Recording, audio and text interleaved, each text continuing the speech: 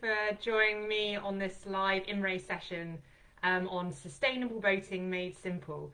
Um, I'm Kate Fortnam, the um, campaign manager for the Green Blue, and I'm going to be taking you through some sustainable boating top tips.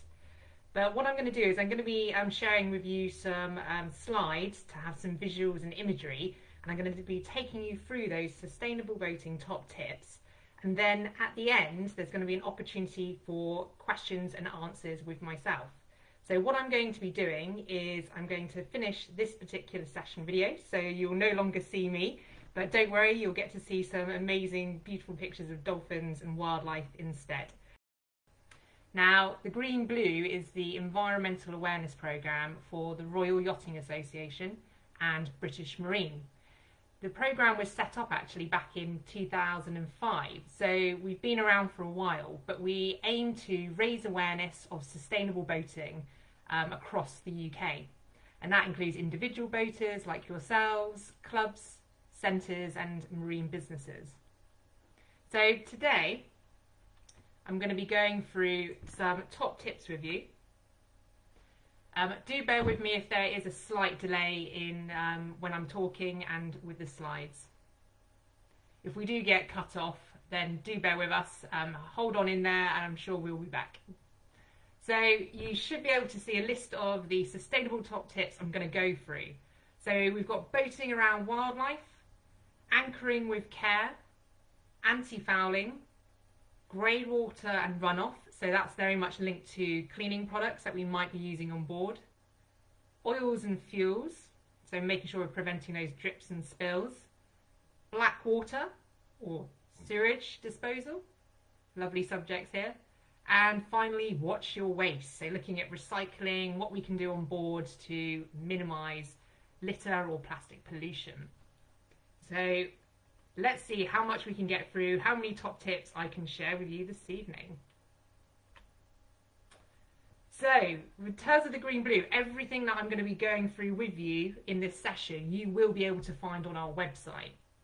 So what you'll see coming up on the screen is a kind of snapshot of our homepage.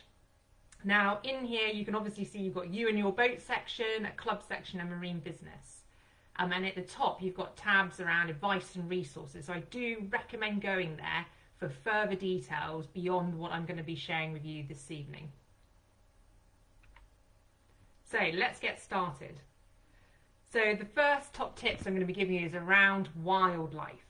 So we enjoy going out on our boats, exploring the coastland, um, coastline, sorry, and inland waters. As you'll see from the picture here, we've got some interesting wildlife that you may have spotted whilst out on your boat. So that lovely feeling when you see dolphins riding the bow wave there on the picture. We've also got our famous bird, yes, the puffin. And then finally, the other picture is, I don't know if anyone can guess, it is the basking shark. So actually we have about five different species of dolphins around our coastline, believe it or not. And some of them are particularly curious and those are the ones who like to come and approach our boats. Others though um, are less curious, so we need to be aware that just because we see a pod of dolphins out in, on the water doesn't mean they'll necessarily be interested in riding the bow wave or coming to explore. So it's very important that we keep our distance. I'm going to be sharing some best practice around what you should do if you spot wildlife in the distance or if it approaches you. Now on the right hand side here I've got a map. Looks a bit like one of my old geography lessons. Um, so lots of um, colouring around the coastline. This actually shows you all the marine protected areas around um, Scotland, um, Northern Ireland and England and Wales and you can see pretty much most of our coastline is protected. Therefore, when we're out boating, it's generally good practice to make sure that we're doing what we can to minimise our impacts on our wildlife and protected habitats. So here are some top tips. So if you're out on the water and you spot wildlife, the first thing you've got to do is slow down. It's recommended five knots or no wake. because it's not just dolphins or whales, it could be birds that are um, on the surface of the water, and any movement of water can disturb them and cause them to fly. And they may be hunting for um, fish, um, they may be resting after an extremely long flight, but slow down. That also allows you to think carefully about how you're going to be operating your boat and the next steps you should take. So, number two, think about your direction. It's always best to keep a consistent course. Try not to do any erratic movements or change direction.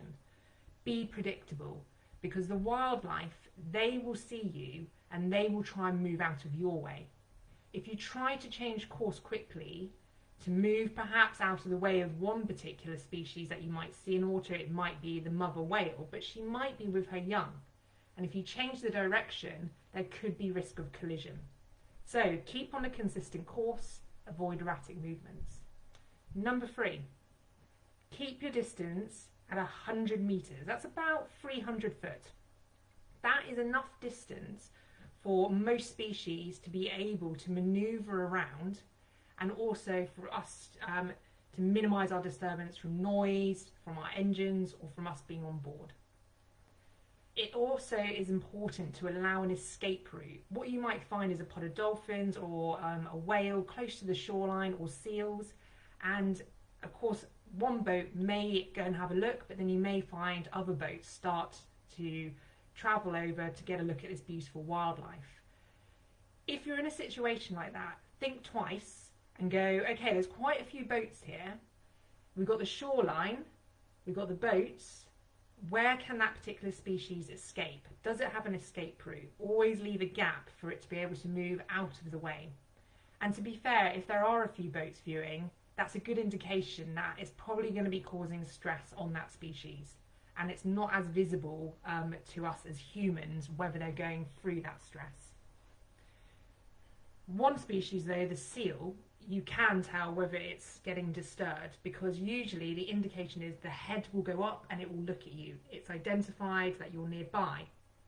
As soon as that head goes up, the next move that it will probably take is um, going straight into the water off the rocky outcrop that it might be resting on because um, that's where it feels safe. It doesn't feel safe on the rocks. When it's on the rocks, it's resting, it's digesting its food.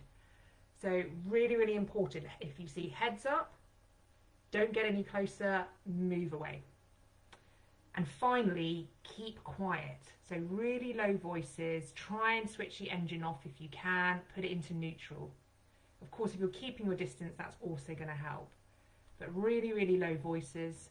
Um, and if you are um, out on water, actually low voices do give an indication to the species that you're present there and they can keep an eye on where you are. The worst thing is being quiet, hiding behind a rock, and then getting closer and then coming out suddenly from behind a rock and with loud voices. That, that can cause disturbance. So there are some of my um, top tips when you're out on the water. And it, and it also applies for if species approach you on the boat, such as dolphins. Keep that consistent speed. Don't change directions because you've got that risk of collision. Um, be it on their terms. If they leave your boat, don't follow. Let them make the decisions. So I've got a really good diagram now on the next slide to give you an idea of how, if you do want to go and watch wildlife, um, how you should approach and what angles. So as you can see on here, we've got a diagram with a species in the water. It could be a whale, it could be a dolphin. Um, and it's important to not approach a species from behind because that's seen as predatorial. Try and avoid approaching from the front. Again, that's seen as aggressive and that will um, cause fear in the species. If you do want to go and have a look, because when we're doing this best practice, we're not trying to say boating shouldn't do this and shouldn't do that, but it sh- um, we should be allowed to view wildlife, but making sure we're doing it in a way with minimal impact.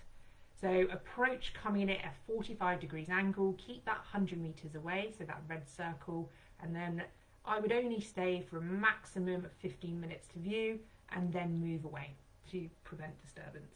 So that's boating around wildlife. Next top tips, anchoring with care. So this is quite an important one at the moment. Actually, the Green Blue is involved in a project with Natural England um, and other partners such as the Marine Conservation Society um, and the Ocean Conservation Trust because we're looking at what are the threats to protected habitats and an example of a protected habitat is seagrass. And along coastal waters at the moment we've only got 10% of what was originally there. Now it obviously went through an impact of disease um, quite a few years ago at the beginning uh, of the 19th century but it's been a slow recovery for its return. And now we have obviously new threats such as climate change, nutrient runoff from the land, um, which is all impacting on these particular habitats. And therefore, any additional impact on them can just cause that tipping point for it not to recover and return. Um, and unfortunately, in some areas, boating activities can cause impact. You can see from the picture here, obviously anchoring the actual anchor itself embedding into the seabed, um, pulling up the seagrass roots. And then we've got the chain that's um, attached to the anchor, which causes abrasion as the boat um, changes, pivots around the anchor point when the wind changes or the tide. The picture on the right here um, is, is such a good image to help us understand that chain abrasion. Now actually these are moorings, so our traditional swinging moorings, and it's a satellite image. And if you go on Google Earth and look up St Mary's in the Isles of Scilly, you can actually see that chain abrasion. So do go and have a look yourself. Um, obviously, satellite images aren't always clear, especially if um, there's not enough sunshine reflecting off um, the bottom of the seabed. But I think this is a really good illustration. But what can we do? So as part of the project we're working on, we're looking at advanced mooring systems. These are just mooring systems which are better than our current swinging traditional ones. So it's looking at how do we lift the chain off the seabed so it doesn't have the abrasion, how can we make the anchor itself at the bottom smaller so it's not occupying too much space. So we're trial running as part of this project different types of advanced mooring systems to see how effective they are, um, how much they work, and then we can build confidence in knowing that we can install these around our coastline and it's great to have that because it allows us as boaters to still access these beautiful places where these habitats are, but also minimise the impact. Because the only other solution then is not to have any recreational activity or anybody visiting, be it people walking on the beach, to those areas in case there's an impact. So th these are great alternative solutions. So if we are out anchoring and there isn't an advanced mooring system or a mooring that's already there, then this is what we recommend. Find out if there is seagrass there. And we know this is a big challenge at the moment, trying to find out, you know, for a boater, where do you look to know that in that anchorage that you've chosen um, or before you set out um, on your trip, is there going to be seagrass there? At the moment, the Marine Conservation Society, here on number one, has something called the reality checker. So you go online, type that into Google, and it will bring you up an online map. And then you can easily on there, um, there's a little, um, I suppose, list down the side, and you select seagrass, and it will bring up roughly where seagrass has been identified so far. So I recommend going on there to begin with, but what we're doing is we're working with Imray, hence why whilst I'm on here this evening having a talk about sustainable best practice, because we're really keen to get these protected areas and information into the pilotage books because we want to help boaters understand where these protected habitats are, what the best practice is to adopt, um, and then boaters um, on their own can decide and be educated and make that decision of this is how I'm going to anchor, this is maybe where I won't anchor, um, and, and having those alternative solutions. So, number two, when we come to anchoring, try and avoid anchoring altogether. I know we like to go into our nice little coves and bays, and it's you know it's an experience we love as boaters. But if we're trying to avoid a particular area that does have a protected habitat like seagrass, where nearby can you instead go into a marina um, and moor up there, use an existing mooring that might be in the bay, um, because it's already there and it's already caused that damage in its area when it's been swinging or use existing pontoons. So really recommend that if you know that there's seagrass there. If there's no, none of those options in the area, then we need to look at trying to avoid the vegetation. Try and anchor away from vegetated areas. I'm saying vegetated because you're not going to know, unless you're potentially an expert, looking over the side of your boat, if you can see uh, vegetation on the seabed, is it seagrass? Is it protected? So, rule of thumb, look over the side. If you can see vegetation on one of our lovely, beautiful sunny days we have in the UK, then um, try to avoid it. Think about the length of your chain as well. Will that cross over and pivot into that habitat? So just think about your pivot area, length of chain, and, and try and avoid that if possible. If you've gone on the reality checker, then you'll, it'll give you a good good idea of where these um, habitats are. But like I said, as part of the project, we're looking at trying to get sort of more accurate digital maps um, accessible for you as boaters, either on your digital charts, paper charts through Imray's pilotage books. So we're very thankful for their support there um, to help you as boaters. Number four, when you're anchoring, really important when you're um, deciding how much chain you need, is getting the chain length to the right amount and not using extra unnecessary chain.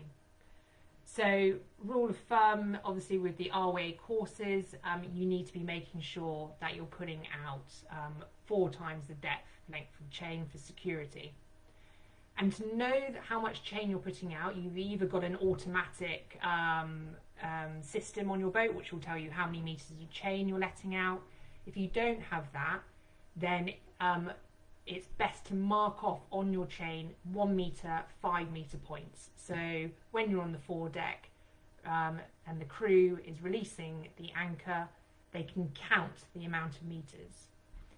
Because every extra meter added onto that chain creates an extra meter of chain pivot around the anchor. So an extra meter of seabed where that chain could potentially be rubbing on the bottom and causing damage to any habitat. So use the minimum. Don't put out extra just to be extra safe. Try and get it as accurate as you can. Deploy it slowly. So feed the anchor out from the bow let the boat drift back and let the chain rest on the seabed. Don't um, release or deploy the anchor where the chain all bundles up on top on the seabed because as the boat drifts back, the chain essentially will be like a snake movement going across the seabed and causing abrasion as it straightens out. So try and lay it onto the seabed instead. Avoid drag, as we know if you've been on an RYA course, try and get your refer reference points on land. Double check your boat's not dragging because if the anchor is dragging and the boat, then that's going to be ripping through the substrate on the bottom of the seabed and if there's habitat down there it's going to be ripping up those roots um, and it, it's difficult for these plants to regrow. They grow, regrow very slowly if we're talking about seagrass.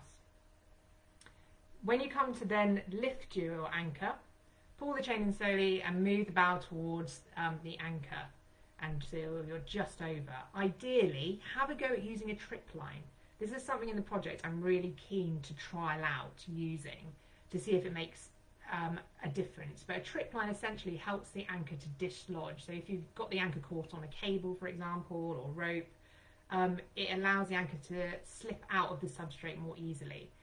And the thinking is, if you're using a trip line, then hopefully the anchor will come out of the seabed more smoothly rather than it being pulled out um, and ripping up more of that habitat. So that's anchoring best practice. Okay, next one, anti-foul.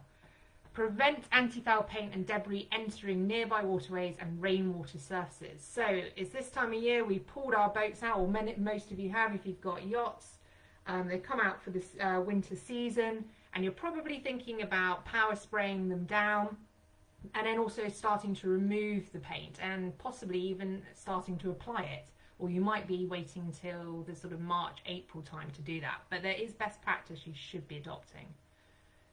So, we've got a campaign called Protect, Collect, Dispose.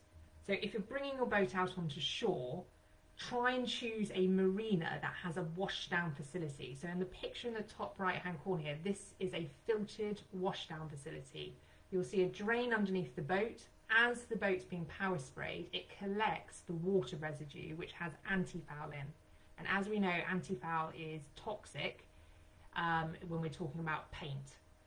And if we have high concentrations of that going into the water, then it's going to cause contamination and damage to our water quality and environment. So we're trying to encourage marinas to install these. Um, and on the Green Blue website, we have a new resource for you as boaters called the Environmental Facilities Map. And you can go on there and find out which marinas have a filtered washdown system, have recycling, um, have um, water refill stations, to help you as boaters be more sustainable. So when you're um, removing biofouling off your boat or you're applying paint, we say put a tarpaulin underneath your boat. So you can see in the picture here, it's simple. They cost probably six pounds from Wickes or um, another DIY shop. Um, place it underneath your boat where you're doing your work. It collects the biofouling onto the floor, any anti-fouling flecks of paint, um, when you're removing, when you're applying, it can capture any drips and spills. One, it keeps the boat park nice and tidy and looking beautiful. Um, and also it stops that paint hitting the ground so if it does rain afterwards it doesn't cause that contaminated runoff into our um, local waterways. Try and use a vacuum sand or wet sand. Um, this allows to capture the anti-foul debris um, or dust coming off instead of it going into the environment. So it might blow off into the wind. Not a good idea doing it on a windy day anyway. Um, but it stops it going into the environment um, and where it can cause further contamination. Try and use a roller brush and a drip tray. The roller is better than a brush because you don't get those kind of flicks of paint, flecks of paint coming off. Obviously, you will need to use a brush in some places, but try and use a roller where possible. And you can see the guy here, he's wearing his PPE gear. Well done. because you want to protect your health as well. When you come to disposing of any of items, um, anti-foul paint is hazardous waste. So you've got to dispose of it in hazardous waste legally. So ask your marina, ask your club, do they have um, hazardous waste bins? Where are they located? If they don't, you're responsible for it. Take it to your local council waste facilities. And that includes anything that's contaminated like brushes, clothing, etc. So that's anti-fouling. Grey water runoff. Um, this is more really about cleaning products. So on your boat, what do you use to clean yourself, for your dishes, um, on the deck? You really want to be avoiding um, anything containing harsh chemicals. So the things to look out for, don't use phosphates. Phosphates are plant nutrients and they are found in many detergents. And it usually makes them quite alkaline, which makes it a, a good cleaner. Unfortunately, you can see in the image at the bottom here that it can promote algae growth in the water and as that algae grows, it covers the surface of the water, blocking sunlight out, um, preventing other species or plants growing. As that algae um, uses up all that extra phosphate and the phosphate runs out and goes back to its kind of normal level, the algae dies off. As it dies, the bacteria decomposes that algae and uses up the oxygen in the water. So we've got another problem there as we're depleting oxygen for other aquatic species. The next thing is chlorine and bleach.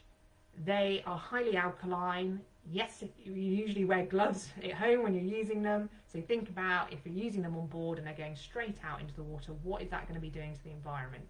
And if you're in a marina in an enclosed area, more often than not, there's going to be other boaters doing it at exactly the same time as you. And we're talking about concentration here. Lots of boaters doing it at the same time, causing um, an increase in, in the contamination of the water.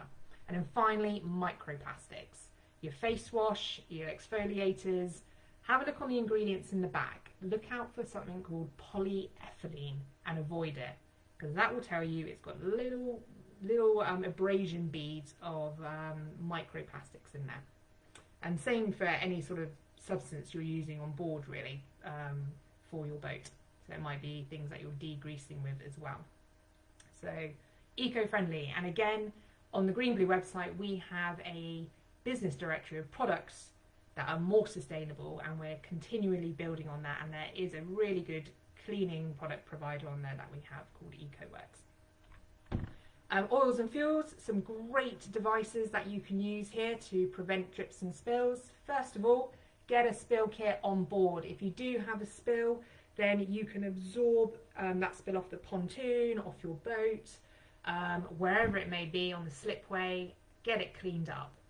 Of course, it's hazardous waste, so you will need to put it in a hazardous waste bin. Next, a fuel collar. So this is the picture in the top um, left-hand corner. It goes on the end of a fuel nozzle. So when you're refilling your boat um, or you're um, putting oil fuel into another container, get that on the nozzle and it'll absorb any drips and spills. And you may have had that difficult situation on your boat where you've had blowback up the fuel line when the air's escaping. That will capture it, prevent it going down your boat, but also, most importantly, it won't go in the water. So get one, of, get yourself one of those. Now, in the bilge, we will have some oil from the engine. Um, and when we're pumping out, unfortunately, if you're on an automatic pump, you haven't got the opportunity there to check to see if there's oil in the bilge before pumping out, which will go straight out into the open water we recommend get a bilge filter. So the picture you can see here is a filter inserted into the bilge pump line. It automatically extracts oil out and it only needs changing really um, every sort of six months. So small amounts. So this is takes all the hassle out and all the mess of using absorbent booms, bilge socks, etc. Um, obviously, if you've got a brand new boat, you're probably going to have smaller amounts of um, oil leak, so maybe a bilge sock is fine for you. Um, the other thing we got is a super spout. Um, a super spout is something you can fix onto your sort of jerry cans or smaller containers and it helps control the flow. So the actual name of this device is super spout and I'd look it up online and check out what it is.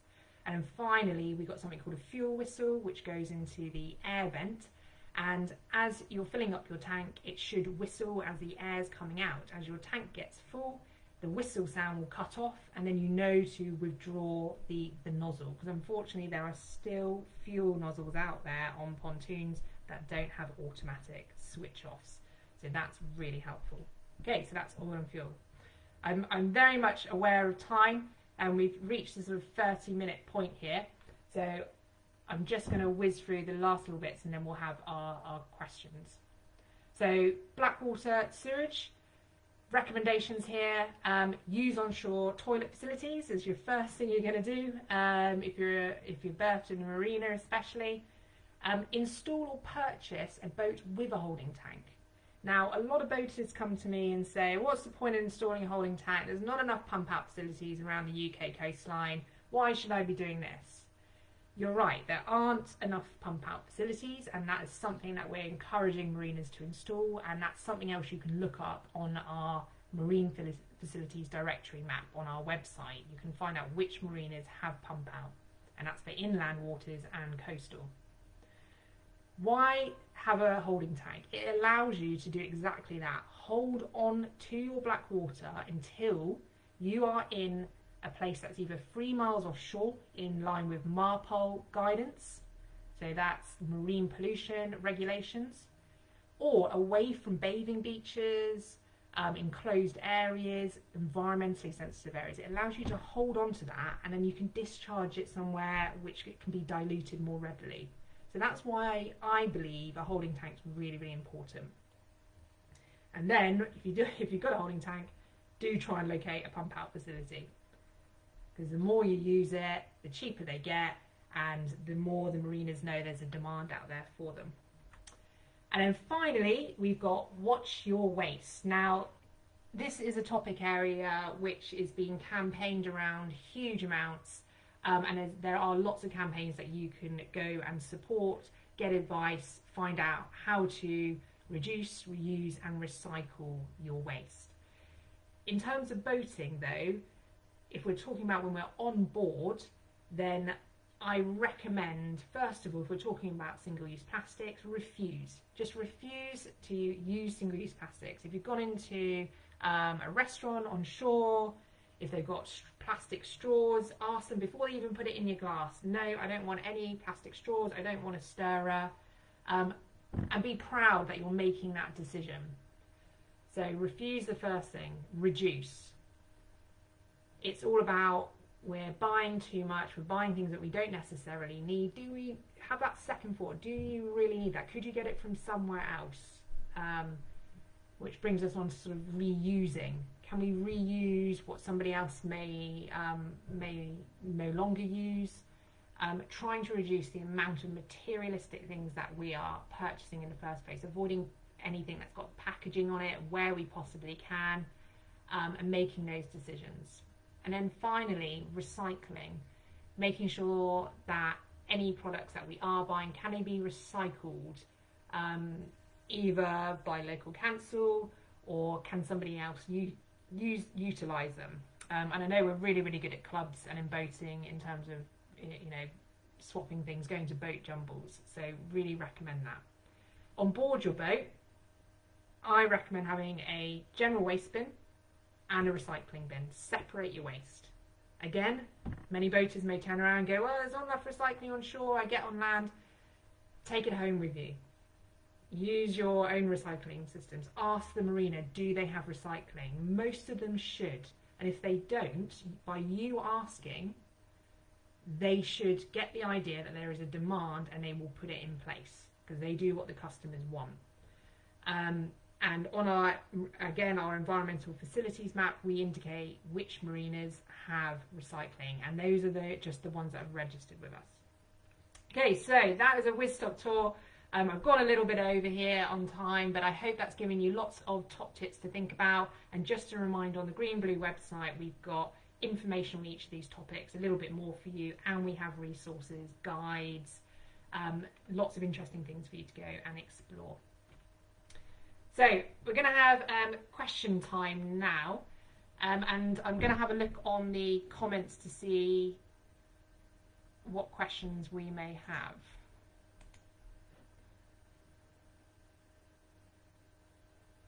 So someone's written a question here. um, a question: What what will you do if you are attacked by orcas? Here in Portugal is a problem already. Um, yeah, we've um, obviously heard about this situation in Portugal, um, and a- as these situations happen, they are usually quite rare. Um, and this has been unusual to see orcas approaching boats. Um, there's lots of ideas around whether um, a particular orca in that pod has been disturbed by boating activity and therefore is reacting to it or sometimes they do practice um, to teach their young on how to remove dorsal fins um, off their prey. So sometimes they will attack the rudders um, as examples of that, but this is definitely an unusual situation. But unfortunately, you have to make sure you keep yourself safe. It is nature. Um, they have a right to be there as much as we do. Um, it does come down to sort of health and safety, um, and and then that will be coming away from the kind of environmental point is where we have to protect ourselves as humans. Um, but in that situation, you obviously have to let them approach and let them leave as and when. Um, and I don't recommend um, doing anything adverse to them because they may have adversely damaged your boat. So I hope that um, has answered your question. But yeah, very rare situation. Um, hi, what is the growing cycle of seagrass? So the growing cycle um, is literally millimeters per year, small millimeters. Um, it's a very slow growing species, hence why the recovery rate of them um, is important to understand because if they are damaged, we're not talking about grass on our lawn which recovers within a few weeks. It will take you know, up to a year to grow, you know, a few centimetres. Um, and that's why we need to be making sure we're doing everything we can as boaters to minimise any additional threats to these amazing habitats because they are really, really important. Um, and they are carbon sinks um, of the ocean, um, like our rainforests on land. And they also provide habitats for our fisheries as well um, and supporting at least five of our top species that we as humans like to eat. Um, so they have an array of importance. Um, and as I said before, any additional threat or anything that we can do to help as boaters, we need to be looking at that. Um, next question. So, how receptive are you how receptive are you finding marinas and clubs to changing or upgrading their facilities? So um, we've seen a massive increase in um, marinas and clubs really wanting to get on board and make changes. For example, we're having our RYA Club Conference um, webinars next week, and we are delivering webinars, the Green Blue and the sustainability team at the RYA, around how clubs can improve their sustainability and we've had a, a, massive interest in people wanting to attend those webinars and learn about what they can do. And I think it's because of the demand, isn't it, from the members, from customers. Um, it's, you know, seeing that they're being responsible for their actions and, in, and improving their environment. And I think that's been a general movement over the last three years, really, since Blue Planet and David Attenborough, that they're is an increased interest, and of course, we absolutely welcome it because we're now seeing people approaching us rather than us going to the clubs and centres and boaters and asking, please be more environmentally sustainable, and this is what you can do. People are coming to us and demanding and wanting to know what they can do, so it's really, really encouraging. Um, obviously, there are difficulties for clubs and marinas when there are costs involved, and things can be difficult. And things we don't expect things to all happen at once and things do have to be budgeted over a long term. Um, and that is all understandable. And it's just making sure that we are thinking about sustainability in everything we choose and do at our venues.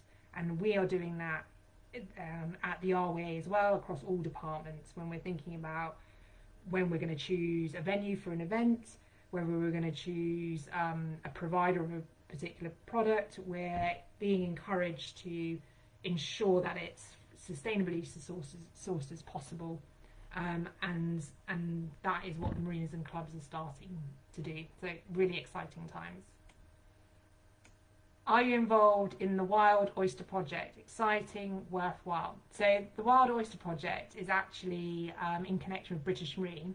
Obviously, British Marine is one of the Green Blues um, sort of key funders. So the RYA funds 50% of the Green Blue programme and British Marine. The reason there's an adjoining of funding there is because we felt it was important for the businesses or marine sector to connect with the end user.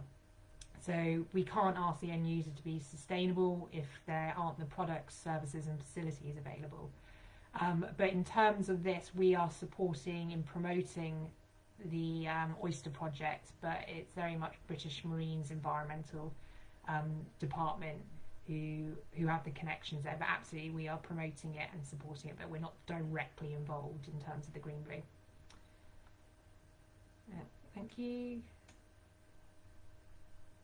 Um, I think that's the end of the questions. I don't think there's any more if anyone wants to jot one in.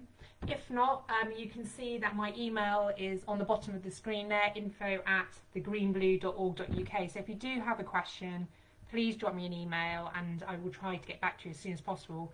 Or if not, go and visit the Green Blue website. We have so much information here. We, we deliver lots of other webinars. There's actually a whole webinar page. You can find out how to support our campaigns. It's all there for you. You just need to go and look at it and if you find it overwhelming on how you can be more sustainable, I've given you some great tips on this session. Choose a couple of them, make a couple of changes, because if every boater does one change, two changes across the UK, across the world, it has a massive, massive difference. Um, and I've, I've always believed that um, throughout my life. One small change done by everybody makes a huge difference. Um, Okay, um, thank you very much, everybody, again, and um, I will leave you to get back to your, your evenings. Um, so, speak to you soon. Bye.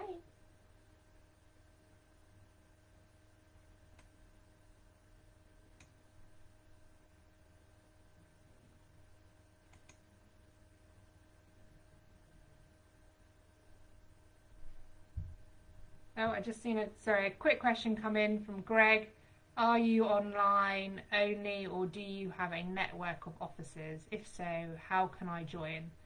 Um, Greg, really interesting point you've made there. Um, the Green Blue is based at RYA headquarters in Hamble, um, and going forwards next year, we're going to be looking at expanding the Green Blues outreach work because currently there's probably three of us that deliver outreach work across the UK, and that's doing talks at clubs, attending events, um, doing educational activities with young boaters.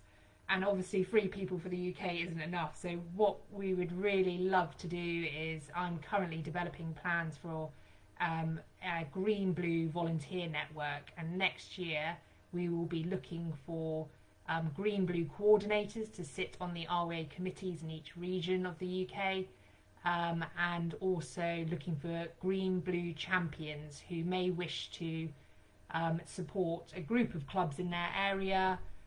They may wish to deliver a club talk, support them with doing an environmental assessment of their club, or just helping disseminate some of our materials. So there is lots of opportunity coming up, and we absolutely welcome anybody who wants to support the program and spread the word essentially. So um, Greg, I'd recommend getting in contact with me and I'd be happy to find out where you're based and, and put you on our sort of potential list, essentially. Uh, where can I find information about which products, such as washing up liquid, um, do least harm?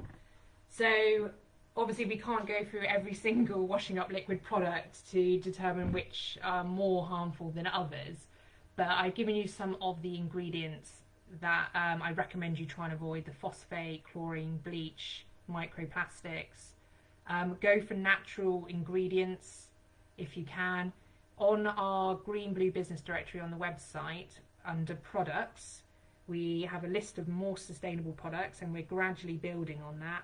The EcoWorks is one of our product sort of um, partners that are on there, um, and they have been um, come under the MARPOL regulations. Their cleaning products um, cause they they use essentially enzymes to break down the dirt rather than chlorine and bleach. So it's a more natural way of breaking down the dirt.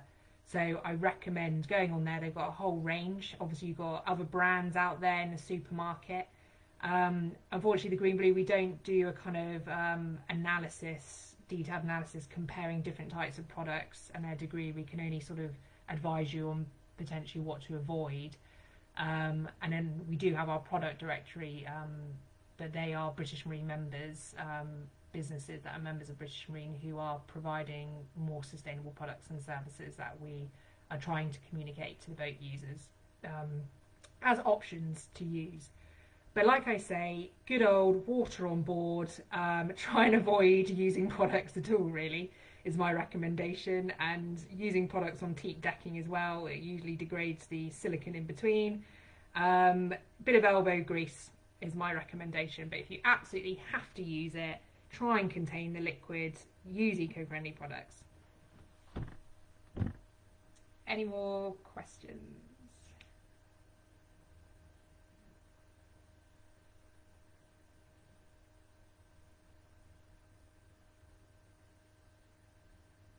Okay, all right, I'm going to leave it there. Thank you so much, everybody, um, for joining me this evening and holding on for that extra 13 minutes. Um, I, I, hope you found it interesting, and again, do get in touch with me if you've got any further questions. And get out there, make one change to your boating, be inspired. Let's do this, let's protect our boating environment because I know as a boater, I love being out on the water and I want to continue enjoying the beautiful scenery. Um, that I see, and that was the whole reason why I studied environmental science at university is because I grew up on the coastline, I do boating, and I thought I want to protect this because I want to continue enjoying it. And I hope that all of you out there will, will feel the same. And yes, there are challenges, there are barriers, but there are things that we can do now. So those things, let, let's crack on and let's do it. Let's, let's take some action. Thank you.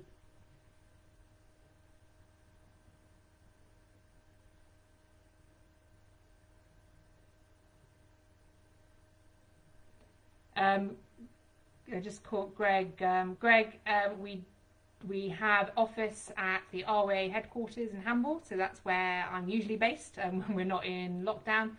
And um, then the rest is through our website um, and, and through connecting us through email. I hope that helps. So we're based in Hamble at RYA HQ.